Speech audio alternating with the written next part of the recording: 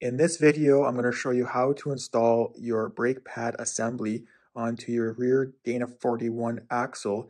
And these steps are the same for your Dana 25 front axle as the rear because all of the brake pads are the same.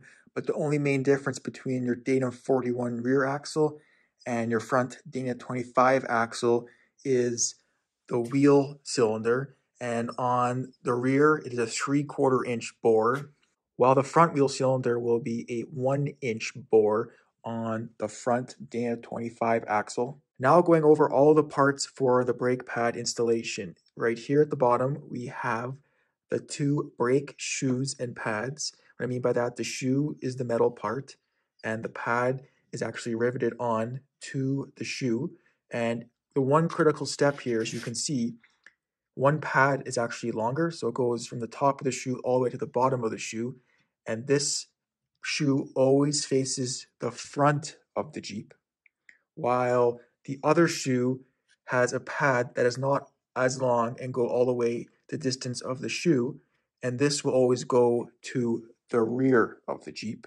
Now moving up the parts board, we have the rear wheel cylinder. This is your three quarter inch bore, and what I mean by that is a three quarter inch diameter where your brake fluid is. And I do have a video going over how to rebuild your wheel cylinder. Just click on the link above. To install the rear wheel cylinder, there will be two bolts. These are your quarter inch, 3 8 long coarse thread with lock washers on both. And these bolts will secure the wheel cylinder to the brake backing plate through these holes at the very top. Now moving over to the return spring, the return spring will be installed on your brake shoes using this hole and this hole where my finger points. Moving up the parts board, we have the lower section, and this section will be the adjustment section on your brake shoes. And going over the parts, we have the retaining plate. There is two anchor pins, and they have a lock washer and a half inch fine thread nut for each. And we also have two brass cams that will be installed into our retainer plate. And your anchor pins will go through this whole entire assembly and then right through these holes, right through the backing plate on the axle. The two lower adjusting bolts will be installed through these two holes at the bottom of the brake backing plate. Finally, at the top of our part board, we have the upper adjustment section. This section will be on the upper part of your brake shoes.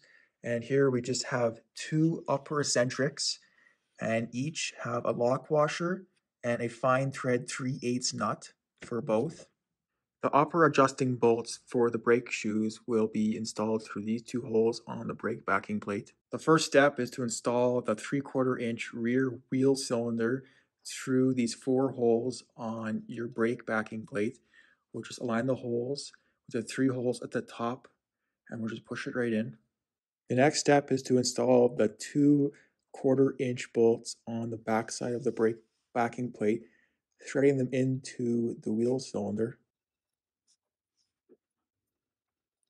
Torque the two wheel cylinder bolts to 10 foot-pounds. The next step is to install the two upper centrics through the two upper holes on the brake backing plate where my fingers point.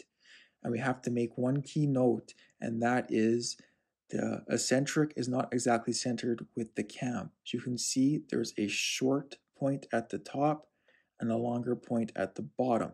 You want the shorter point towards the outside or towards the brake shoe on both sides and we will install it with the threads facing inwards towards the axle and install it with the smaller point facing out on both sides and the smaller point will allow the brake shoes to be installed easier and then that's a good starting point for the brake pad adjustments when the brake drum is installed later.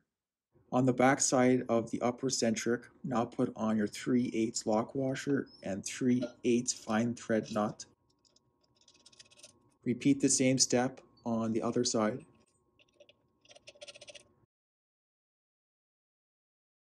Only hand tighten these two nuts as they will have to be adjusted later.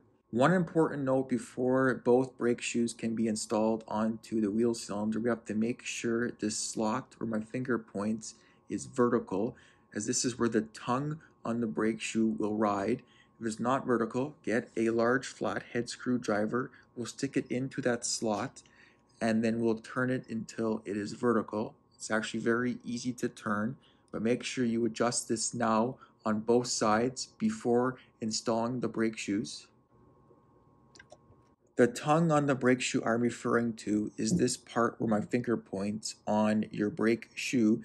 This right here will ride in the slot we just adjusted on the wheel cylinder. Next, we have to install the return spring that will go onto your brake shoes. And you want this hook to go through these holes where my finger points. The hook will go under on the longer brake pad side which will always go towards the front of your Jeep, while your hook will go on top on the side with the smaller brake pad. Now it is time to install the two brake shoes onto the wheel cylinder. And to do so, we want to make sure we have the two brake shoes already pre-assembled with the return spring connecting both. This is actually very critical as it avoids you having to get special tools to install these two brake shoes and you want to make sure that this is orientated in the correct direction. The longer pad is towards the front of your Jeep and the shorter pad is towards the rear of your Jeep.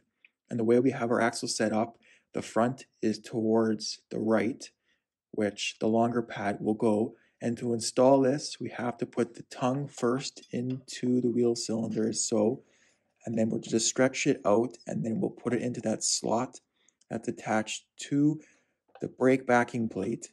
Once you got your front brake shoe installed, now to install the rear brake shoe, we first have to put the tongue into that slot on the wheel cylinder, just pulling it into position.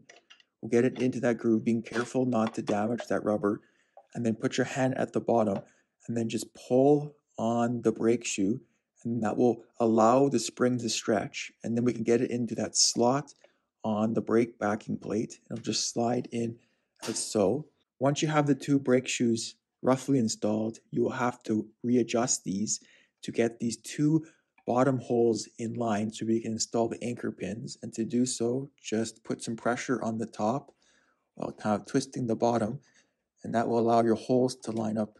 The next step is to install our lower anchor pins through the two holes at the bottom of our brake shoe and backing plate. And we'll have to make sure we assemble this first. We have our anchor pin that goes through the retaining plate as so on both.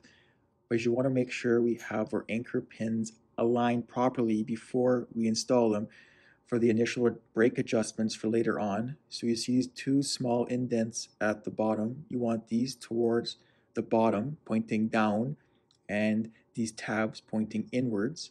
And the trick for that is on the right side, this flat part is towards the top and on the left side, the flat part is towards the left. And then we also have to put on our two brass cams as well. And the brass cams only go on one way. This right angle will fit on the right angle on the anchor pin as so, just pushing it on like that. It'll just slip right on and make sure it's on flat. And do the same thing for the other side. Just push it on. And now we have the assembly built and now we can just push the whole anchor pin assembly right through the two holes at the bottom of our brake shoe. We'll just slide it in as so. Now we have to get the brass cam to seat into the holes on the brake shoes on both sides and that will allow your retainer plate and anchor pin to sit flat against your brake shoes. You may need to adjust the brake shoes to get the anchor pins to seat into those holes. Just have to wiggle your brake shoes around and wiggle your anchors around until it seats flat in there. Fast forward and the retainer plate and two anchor pins are now flat against the brake shoe on both sides. So now we know that the brass cam is seated in properly. Now we have to move to the back side on the brake assembly to put on our lock washer and nut. Now slide on the two half-inch lock washers on both lower anchor pins. Then install the two half-inch fine thread nuts on both. Only thread nuts until they are hand tight because you have to make further adjustments for the brake pads later on using these two anchor pins. The driver side is the exact same steps as the passenger side in regards to the 3 quarter inch bore wheel cylinder on your rear Dana 41 axle.